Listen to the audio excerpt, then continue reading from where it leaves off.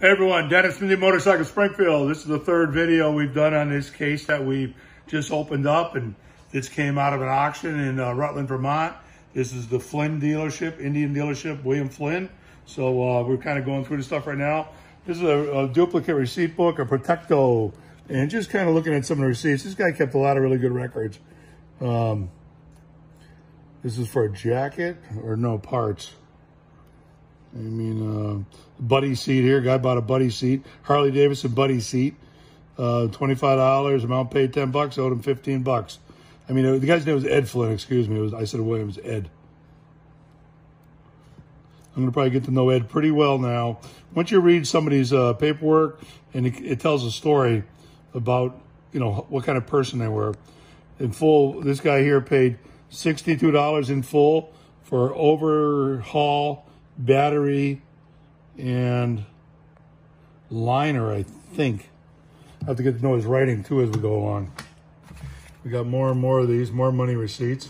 We're gonna have to put all these in some kind of semblance of order so we can figure out exactly.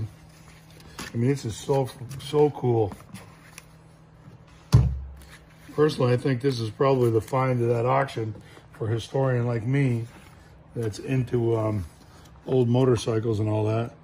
Received from Edward B. Flynn, $5 payment in full for service in Adams, Mass. A bunch of people signed it. I wonder what that's about. First, something.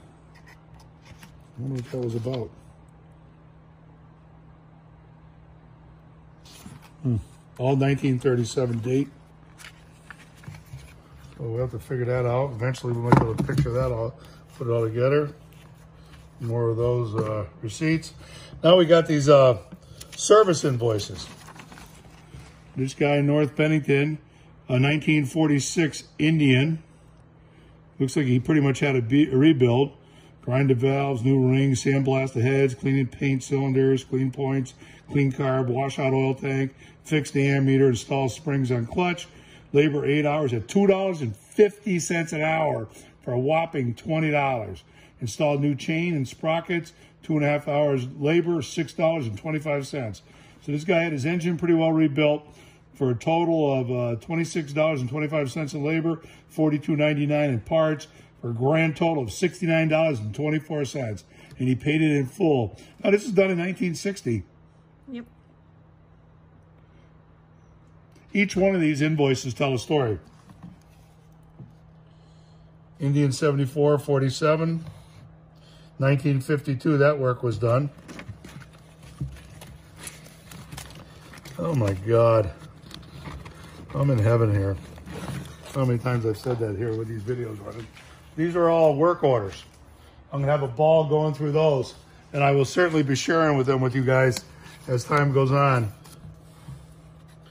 I hated somebody actually took sticky notes and put it on at the auction. They should know better than that.